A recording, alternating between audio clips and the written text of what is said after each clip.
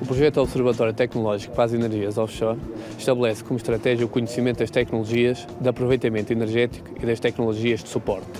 Pretende criar uma base de dados com entidades e técnicos internacionais e nacionais de suporte a este uh, setor, assim como identificar oportunidades, ameaças, pontos fortes e pontos fracos, de forma a definir um roadmap para este setor.